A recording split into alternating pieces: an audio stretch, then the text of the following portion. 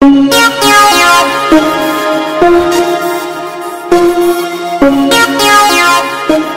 Jullian and welcome back to my YouTube channel. To all the people who commented on my last video, thank you so very much.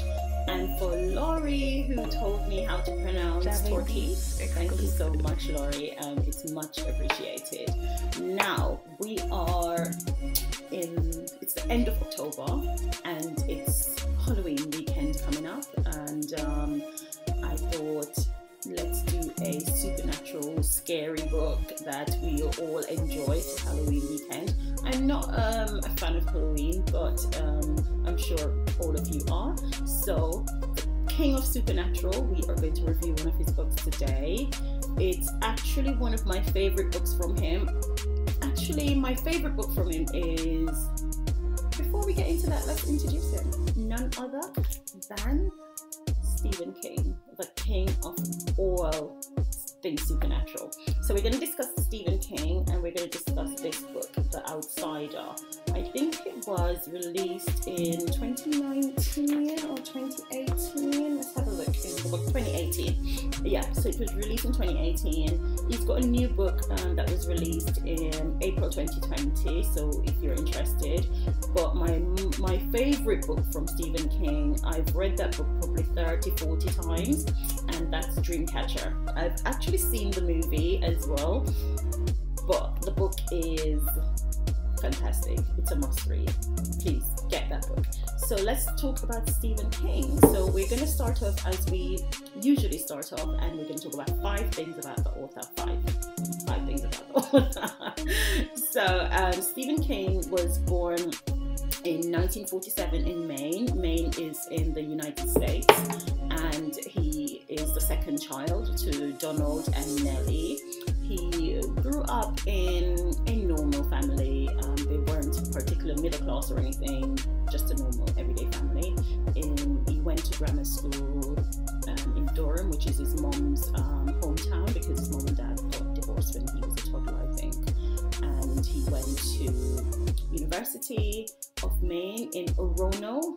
Hopefully, I'm pronouncing that right again. If anybody knows the pronunciation, but I think it's Orono. It's spelled O R O N O, so Orono, where he did a BSc in English and to teach high school, um, what we would call here in the UK secondary school. So he did a BSc to do that.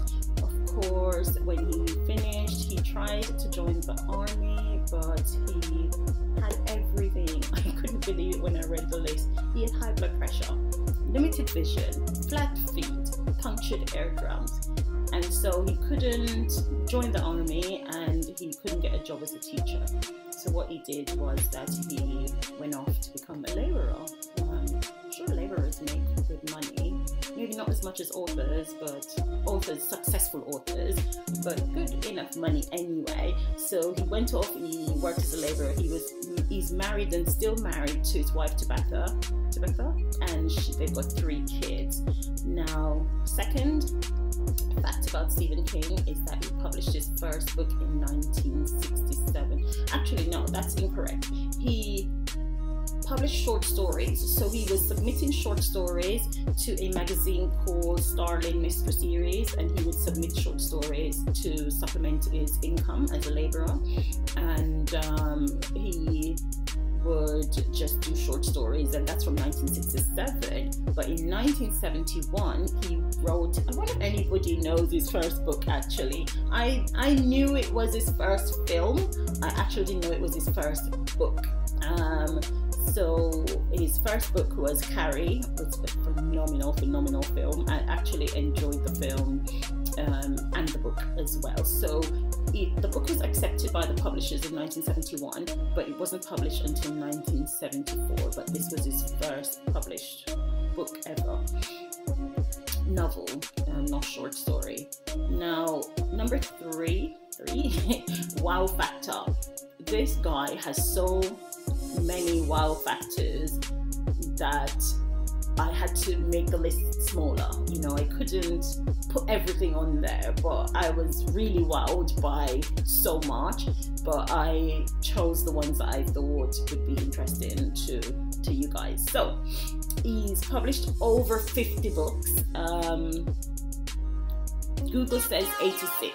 His bio says over 50, and Google says 86. So the same thing over 50 86 over 50 could go up to a billion right? So 86 he's written over 200 short stories he's sold a whopping 350 million copies of his novels and short stories, and he's actually one of the world's most successful authors. Um, as if, if, anyone watched my video, please go back and watch it. The one on Agatha Christie, she is pub has made billions, you know, um, published billions of books as well. Um, so he's not as successful as her, but he's very, very successful in his own right. I mean, 350 million copies of anything is just phenomenal, right? So um, he's had 61 big screen adaptations. Go off this Halloween if you're into Halloween and watch all 61 of his films because they're all supernatural, I'm sure, and supernatural thrillers and all of that. So go off and watch it this Halloween weekend if you've got time. Um, he's published, well, not published, but made 23 television films from his books and also a few stage production. This one I didn't know. I don't know if any of you know this. If you do, just put it down in the comment section. He has 31 comics. 31 comics. I, I didn't even know he wrote comics. So he's got 31 comics. Um, there's two franchise. The two biggest franchise are the Dark Tower and the Stand as I said, I didn't know he did comics. I'm not. In, I used to be into comics when I was a kid, but I'm not into comics. So if any of you are into comics, then you can go off and try and find his comics and see what you think, and leave a comment down below. In 2003, he won the National Book Foundation Medal for distinguished contribution to the American letters, and in 20, 2014, he won the National Medal of Arts. And on top of all of that, his bio does say he gives a lot back to charity. So he gives a lot to museums and places like that and libraries, you know, gives a lot to charity. And um, he has five top films, five films that he did voiceover for. So he's writing books, he's writing comics, he's writing short stories, he's doing films. Um, I think of the five films that he was in, one was a voiceover, so you would have seen him in the film. It was actually a voiceover.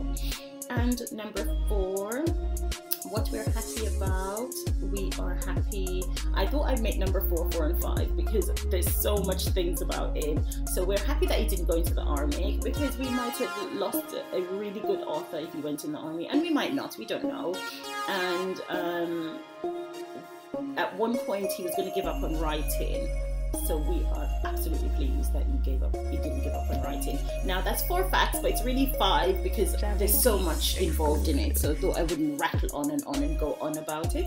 So hope you enjoyed the facts. Now let's get into the book. The book the book the book.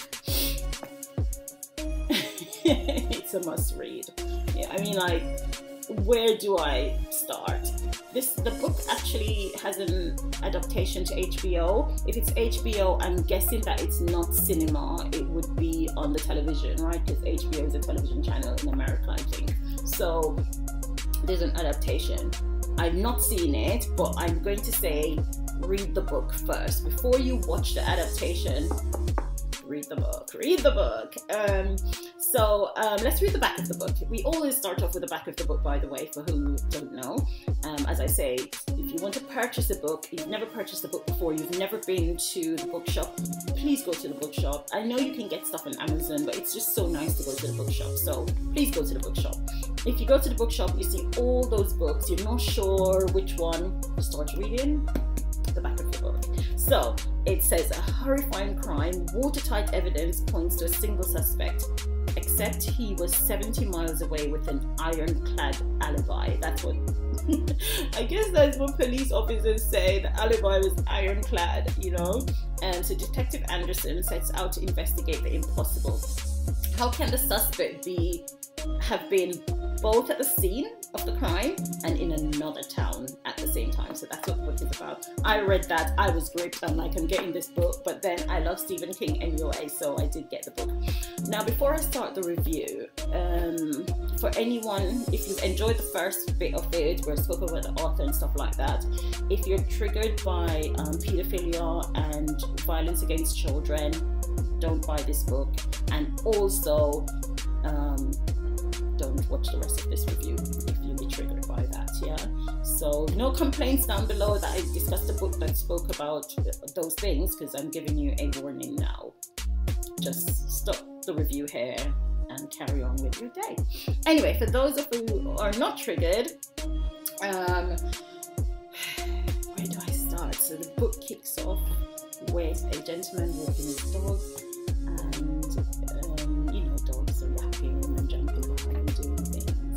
then this gentleman he came across a body body of a child who and this child was called Frank Peterson. And a lot of the book is surrounding the Peterson family. I'm not going to give too much away because I do want you to read the book but a lot of the book is surrounding the Peterson family.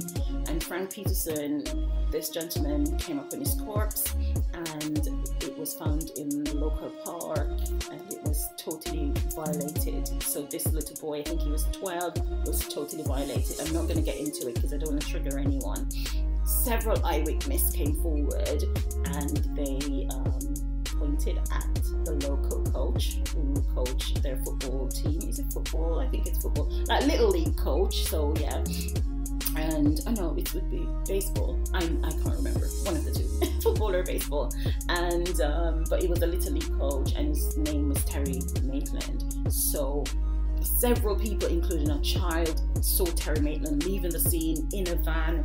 Um, they know him because he teaches their children sports. They know him because his family is known. You know, he's like a local man that everybody loves.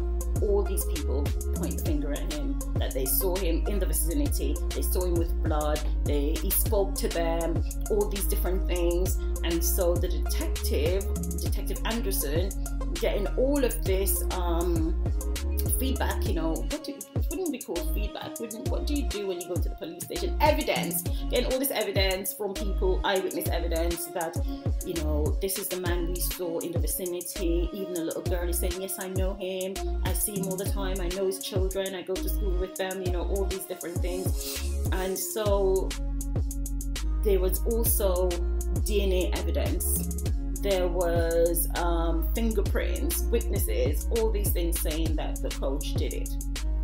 So Detective Anderson, he taught Detective Anderson child as well, and Detective Anderson was absolutely mad. He's like, I'm gonna get this guy, he taught my son, my skin is crawling, how could he do this? Did he do anything to my child? Did he do anything to anybody else's child? So he's like, I'm gonna publicly humiliate him. District attorney got involved and they went and they arrested Terry Maitland in front of the whole town because it's a small town and everybody goes to the sporting games. They arrested him in front of the whole town. His wife and two daughters were there, and it was just absolutely chaos and mayhem, you know.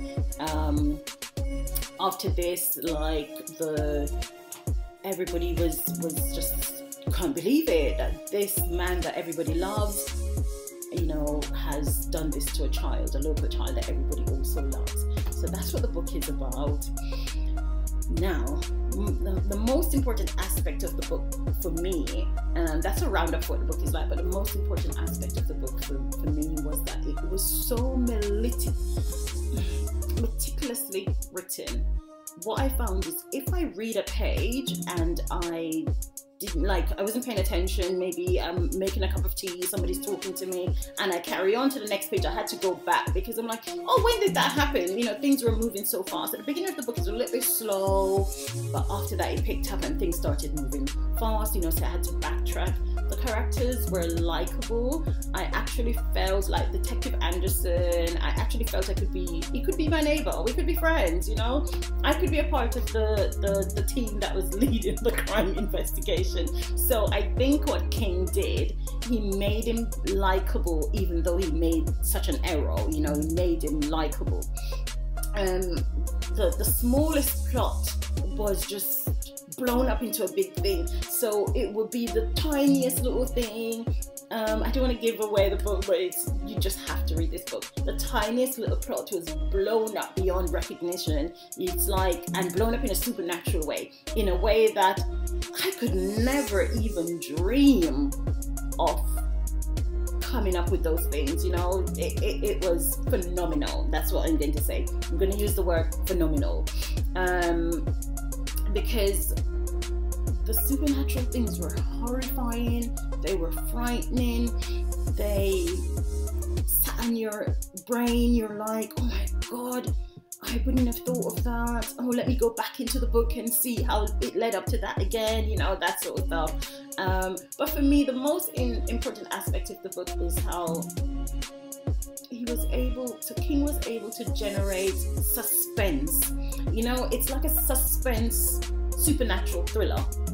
The suspense was oh, let me let me read, read, read, so I can find out how how did that happen? How did this happen? Oh my god, you know all these different things. And then he brought in characters from other places, and but likable people, people that are everyday people, your neighbors down the street, the people you go to the supermarket with, you know, just people that you would see every day in your life, you know. Now I'm going to move on to my section for quotes in the book. I'm going to read page six. Not the whole page, of course, we haven't got all day for that. I'm going to read page six when Detective Anderson spoke to Ritz, right? So that's the background of it. Ritz was given his evidence, his um, his eyewitness evidence, and Ritz said, um, which Ritz said, I can't swear it was the white van, and I didn't go back that way, so I don't know if it was gone, but I bet it was. And you know what that means? You know what that means? Detective Anderson is like, no, tell me what it means. And he said, Rich said, that he might have been watching me, the killer standing in the trees and watching me. It gives me the creeps just thinking about it. Now, I mean, then I was pretty much fixated on the blood and keeping Dave from yanking. Dave is the dog from yanking the arm off off his socket. That's the socket of the kid. Oh, let's not get into that. Pretty gruesome. When you read the book, pretty gruesome. Let's move on to page seven and what fits. This is Ritz again. He says he was on his stomach and the branch was sticking out of his body part. Let's not say where. Um, that was bloody too. The branch. Part of the bark was stripped and there was a handprint I saw it clear as day. Dave wasn't barking anymore. He was howling, poor thing. And I just don't know who would do something like that. He must have been a maniac. Will you catch him, Detective Anderson? And Detective Anderson says, Oh, yes, we'll catch him. So, you know, like, suspense. The drama, the drama of it all. and I do love a bit of drama, the drama of it all. Um, the next section, similar books. Now, similar to other Stephen King books, but not to other authors I've read. However, if you're looking for similarity, it wouldn't be in a book. I would say it would be in the X Files. You know, when you watch the X Files and it's all these supernatural stuff, that it would definitely be in the X Files. Now, to wrap it up, let's give it a rating, as I always do. To wrap up the book, I will give it an 8 out of 10. Um, I love the book. It took me on a roller coaster ride up, down, round London, you know. However, I feel like it's similar to other Stephen King novels. So, for that reason, I'll give it an 8 out of 10. I actually think it, I've not seen the HBO series, but I think it would have made a really fantastic um, television series. So, 8 out of 10. I think that's generous anyway. If you agree with me, if you've read the book, you agree 8 out of 10, 10 out of 10, 9 out of 10, 6 out of 10, let me know, put in the comments below. And thank you for watching. Once again, Stephen King, the master of supernatural suspense thrillers.